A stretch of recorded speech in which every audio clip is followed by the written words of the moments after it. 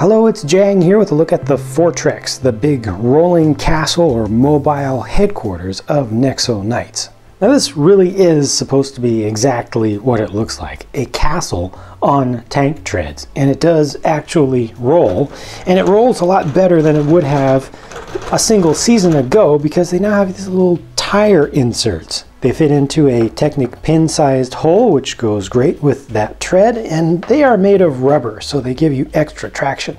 But this is much more than just a building on wheels. It can actually open up and partially transform. You completely open all this up. You can open up with a little desk there, switching around to the front. There's actually a little knob off to the side, which allows you to bring down the drawbridge which at the same time deploys a vehicle and brings up this turret up here, which is also removable. The little wheeled vehicle is a Knight cycle, and you can bring the sides of it up to kind of close that in. It currently has Clay in there with his shield attached to the front. It's basically just a low profile motorcycle, but it's nice and fits in with the scheme of the whole thing really well and rolls and you kind of turn it side to side. This thing up top is called the Aero Striker V1. It comes straight off and the sides of it are supposed to be wings. It's supposed to be a kind of a crossbow inspired flyer. It has a huge cannon that's built into it so you can really rain down some massive firepower. This thing shoots out quite a large projectile that can probably take down some fairly large things on the battlefield. So you can fly around with this with one of your knights. You can also just move it to a different mount on the front. So I'll bring the wings back in and mount it just a little bit further forward and now it becomes just a stationary large cannon with just a little bit of range of motion so you can kind of fire side to side. Not up and down very much. Well, up, yes, but down, not so much. Eh, a little bit in the corners, I guess. The castle also has these six shooters up here, which just fire straight forward. The studs, it's also got the small stud shooters down here for point defense. Those are able to rotate around. You can also pick them up and just use them as minifig weapons. And each side of the castle has these dual laser cannons that can be rotated around, and those can be controlled from the inside, where you just set up a figure right there, and you can't actually physically shoot with this, but it's good for imaginative play.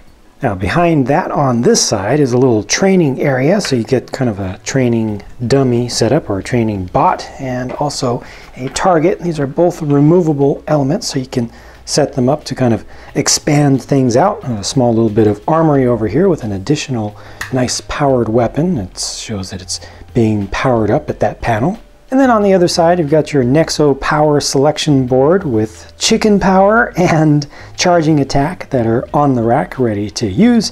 And then this is the small little kitchen area, which is manned by Chef Eclair. And for some reason, they put the hot water on the right side here. This is actually an oven down below, and it has a little leg of, of chicken or some sort of poultry in there. And it's also a, a glass, and uh, Chef Eclair has a little pan.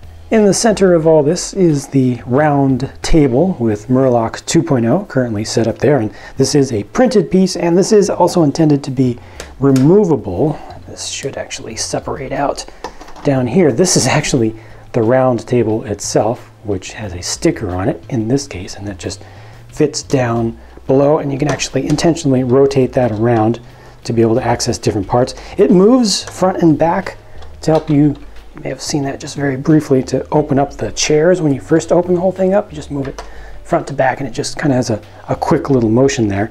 And then this is a stand for Merlok 2.0. You can see exactly how it's printed or really painted with the, the kind of silver color that's added on there. Just very, very thin. You can actually turn these down for what? Well, to make it into a freestanding stand. Kind of turns them into feet. So you can make this a separate element that doesn't have to be attached to the table. Upstairs, meanwhile, inside of one of the towers is a little targeting area, a little tech area, and on the other side is the small little prison or single jail cell of the Fortrex, and that can just be opened up from the side. It's supposed to be a, a tech panel, and that's a printed piece right there. Fortrex also has a very small classic tool rack, and on either side is an ammo store where you can keep extra studs for your stud shooters. One more thing, when the drawbridge gate is closed, you can use this kind of hidden little disc launcher. There's a button on the back that you push right through and it shoots out these discs and they give you three of these. As far as proper builds for the bad guys in this set, you just get this one Fire Skeeto Demonic Flyer, which has a pretty cool looking face on the front of it. I appreciate the, the dark brown and the horn elements. It has a mouth that you can articulate just opening and closing it a little bit, but that is not a tongue in there, that center round red piece. That is a disc launcher. It actually has a disc launcher in all black here. I appreciate that compared to the couple of, of grays that they did before. It's launched kind of remotely from the tail. You just push this rod in and it fires off a goblin disc. Wow, that one is gone, but fortunately they do include a total of three in there, and I can show you the two different types. So they have two different personalities for those things. On the left here is Clay with, I believe that's the Tech Caliber sword he's got, and for his Nexo power on his shield, he's set up currently with Hawk Holler. On the right is Aaron with his Blazer bow, which is based around a new minifig accessory piece, which shoots out these interesting new bolts. So this is a shooting thing. Push on that, and that gets shot out. Does not use studs, instead it uses this, just a very interesting new piece. Currently, uh, Aaron is set up with superhuman speed as his Nexo power. Taking a look at the rest of what you see here. So uh, Aaron does get a couple of extra bolts on his back, and you could also see that as being a jetpack if you want to, but it's, it's really his quiver. With everything removed, you can see the prints on the torsos much more easily. Each figure gets a secondary face, and there's a clean look from the front with the prints that go all the way through from the torso down to the feet. And those have some nice metallic printing on them as well, so you can see some of the, the shine. Here's big old Axl with his power axe and his currently equipped Nexo power is ground pound. This is a unique body for Axl. It actually has a minifig torso on the inside, but that's fused in. You cannot remove that from the larger body piece that you see there. Also has a new type of arm, a large arm, which is not able to rotate at the elbows or at the wrist. You can't rotate the wrist around at all. You can just make this go forward and back, and that's actually just attached in there with a Technic sort of connection, just a, a pin. And with some of the stuff removed, you can get a clear look at his face from the front. You can see the prints on the torso, hips, and legs a little bit better. And there's his alternate face. Now here on the left is an Ash Attacker with his Magma Blade there, followed by two different types, or different prints of Scurriers, and over on the right is Chef Eclair, and he has a printed one-by-one -one tile piece for his front. The Ash Attacker does have an alternate face on the back, and he also gets some print there. And let's go ahead and take a closer look at the, or clearer look at just his face print on the front. The set also comes with a single Book of Evil with the printed transparent purple cover on it, and that's also a print in there giving you a little preview of what monster will come from this book. All told, I feel like this is a super fun playset, a real proper playset that is designed first and foremost for play, play, and more play. So many things that can be done with this thing.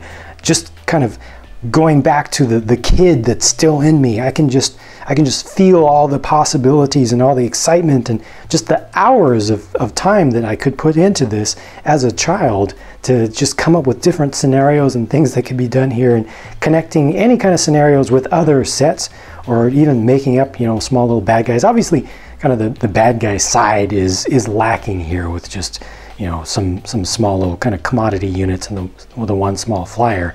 But for what it is, for the focus on the good side headquarters, it, it really does its job fantastically well. I think better than pretty much any other headquarters set that, that LEGO has done for, for years, for many years. And I feel like I get a really good value for this. I feel like this is a really great gift for a lot of kids. I really feel genuinely happy for kids who are going to be able to receive this thing. It's definitely not in any way, even slightly, a substitute for a classic castle, for a vintage collector or anything like that. It's not even trying to be, doesn't pretend to be. It just has medieval based or derived styling for the whole theme. For what this is supposed to be though, a big original playset, I think it's phenomenal. I highly recommend it. Thank you for watching this video and please do share what you think about the Fortrex by leaving a comment on the video. Talk to you again soon.